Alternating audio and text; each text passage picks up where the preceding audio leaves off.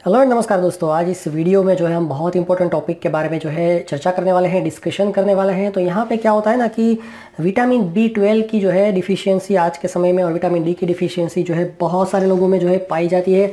उसके दो मुख्य कारण है कि स्पेशली जो है वेजिटेरियन लोग हैं, उनके अंदर ये खामी को जो है पाया जाता है। उसका एक सबसे बड़ा कारण यही है कि पानी जो होता है ना, पानी, उसके अंदर विटामिन बी ट्वेल्व होता है और विटामिन डी जो है आपको सुबह के जो है नरम एकदम जो धूप होती है, हल्की छा, हल्की सी जो धूप होती है, उसके अंदर अगर आप अपने शरीर को जो है खुला रख के अपनी चमड़ी को जो है अगर उसको ये वाले संबास देते हैं तो आपके शरीर में विटामिन डी बनना शुरू हो जाता है। तो आज के समय में आपको पता ही है लोग जो है मोबाइल के अंदर घुसे हुए हैं, बाहर निकलते नहीं है, धूप में स्पेशली मॉर्निंग में बहुत ही लेट उठते हैं, या तो फिर काम की भागा दौड़ी में ये चीज़ नहीं कर पाते इसीलिए जो है विटामिन बी डी की जो है खामी उनमें रह जाती है।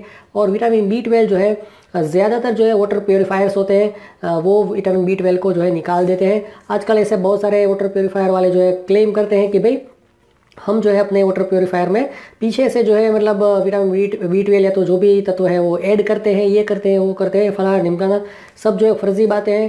पहले का समय था तब जो वाटर प्योरीफायर आते थे वो बेचने के लिए कुछ और तिक्रम लगाते थे, अब जो है और तिक्रम लगाते हैं अल्टीमेटली उनको तो अपना वाटर प्योरीफायर बेचना ही है। अभी तो रिसेंटली मैंने एक मल्टी लेवल मार्केटिंग कंपनी के सेमिनार को जो अटेंड किया था, वो लोग तो कुछ एक लाख के आसपास का वाटर प्योरीफायर बेचते हैं और क्लेम करते हैं कि भाई उसके वाटर प्योरीफायर में से विटामिन बी ट्वेल्व आपको मिलेगा। तो ये सब जो है फर्जी बातें होती है, उससे कोई आपको फ़ायदा होने वाला नहीं है। दूसरी चीज़ के ज़्यादातर जो है एलोपैथी लेने वाले होते हैं, वो क्या करते हैं कि अगर आपके अंदर विटामिन डी, बी ट्वेल्व की खामी होती है तो उसके इंजेक्शन आते हैं, उसका कोर्स आता है छः या तो दस का छः इंजेक्शन छः इंजेक्शन या तो दस का जो है कोर्स आता है, वो आप करते हैं तो अप्रोक्सीमेटली छः महीने तक आपको जो है विटामिन बी ट्वेल्व का जो डिफिशियंसी जो है, वो कम हो जाएगा। फिर से अगर आप खाना खाते हैं, उसमें से या तो पानी पीते हैं, उसमें से नहीं मिलता है तो फिर से जो है आपको वही चीज़ को रिपीट करना पड़ेगा। आपको फिर से वो जो है इंजेक्शन का कोर्स करना पड़ता है। तो अल्टीमेटली जो है एलोपैथी आपको पता ही है कितना नुकसान करती है। तो इसका एक, जो है मैंने सॉल्यूशन देखा है और मैंने अपने ऊपर भी इसको जो है ट्राई किया है। तो यहाँ पे एक आयुर्वेदिक में इसका जो है सॉल्यूशन है कि विटामिन बी ट्वेल्व जो होता है ना वो मतलब खाने के अंदर मतलब सब्जियों के अंदर होता है बट बहुत ही कम मात्रा में होता है।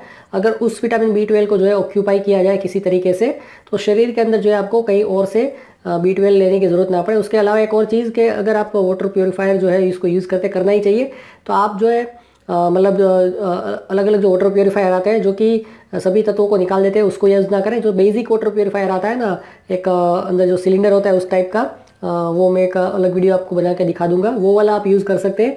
मतलब कम्प्लीटली जो है आपका पानी को सभी तत्व निचोड़ के जो एकदम क्रिस्टल क्लियर कर दे, ऐसे वाटर प्योर प्योरीफायर को यूज़ करेंगे तो आपको बी कभी भी नहीं मिलेगा। और फटकड़ी जो बोलते हैं ना, उसको भी आप इसके अंदर जो यूज़ कर सकते हैं अपने पानी को थोड़ा सा क्लीन करने के लिए। और उसके अलावा जो है, यहाँ पे आपको क्या लेना है? तो यहाँ पे ये वाला जो है हरित हरिताल गोदंती भस्म, ओके, ये डाबर का आता है, और भी कंपनियाँ इसको बनाती है, आप कोई भी कंपनी का ले सकते हैं। इसको आपको लेना है, ठीक है?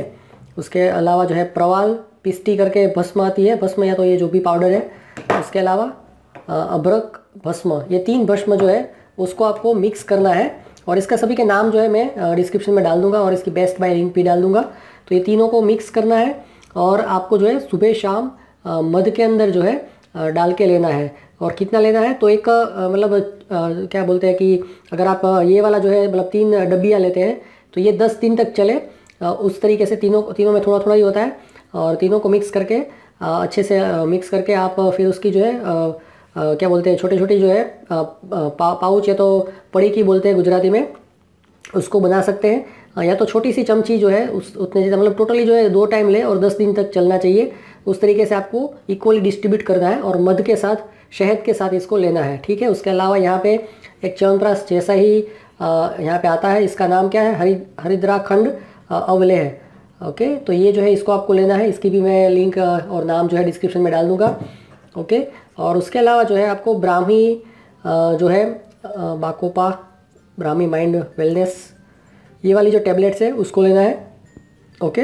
तो ये जो है दो टाइम लेना है आपको, एक एक चम्मच, और ये वाला जो टेबलेट है, इसको आपको एक टाइम रात को लेना है, ठीक है? उसके अलावा यहाँ पे एक और टेबलेट है, और इसका क्या नाम है? डॉक्टर वेशिस्त्री लिवी, ऐसा कुछ करके नाम है, और इसका जो नाम है दवाई इसमें जो है, टेबलेट, इसका नाम थोड़ा सा लंबा है, भूमि अमाल अमाल की काका, माची शाप पुखा टेबलेट्स। तो इसका नाम थोड़ा सा प्रोनाउंसिएशन करने में दिक्कत आ रही है तो इसका जो है एग्जैक्ट नाम और ये सब चीज़ें जो है मैं डिस्क्रिप्शन में डाल दूँगा। वहाँ से ये टेबलेट्स को आप खरीद सकते हैं और इसको खाना शुरू कर सकते हैं। तो ये भस्म जो है, उसको आपको दो टाइम लेना है शहद के साथ ओके इसको इक्वली जो है तो टोटल ट्वेंटी भागों में इसको डिवाइड करना है, दस दिन तक लेने के लिए। उसके बाद ये जो है, इसको एक चम्मच लेना है ये वाला है, उसको रात को एक बार लेना है और ये जो है दो टाइम लेना है। ये वाला टेबलेट्स दो दो दो टाइम लेना है। खाना खाने के बाद ले सकते हैं, ठीक है?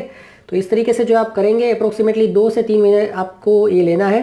पहले तो जो आपको थकान का जो इश्यू आता है, जोड़ों में दर्द होता है ना, वो तो आपको एक वीक में ही जो है मतलब ख़त्म हो जाएगा, आपका इंप्रूवमेंट आ जाएगा।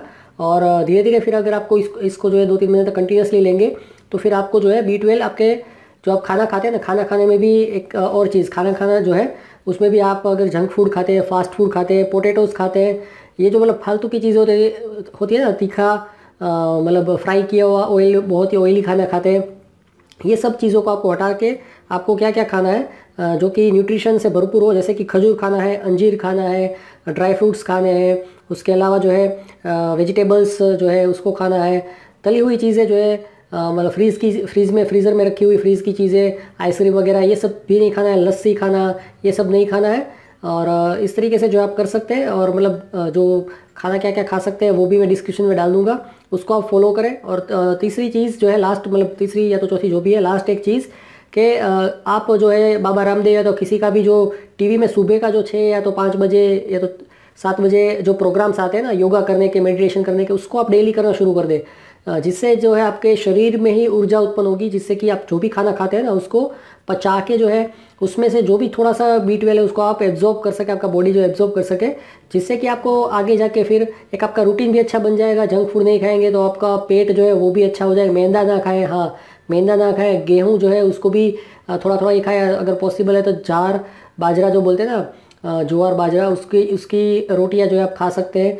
जिससे कि जो है पेट को ज़्यादा लोड ना पड़े और जितना भी अच्छे अच्छे तत्व है उसको एब्जॉर्ब किया जा जा सके। तो इतना आप करें और अपने अनुभव जो है कमेंट सेक्शन में शेयर करें। आपकी और भी कोई क्वेरीज है तो कमेंट सेक्शन में आप पूछ सकते हैं। So thank you good bye stay healthy enjoy your life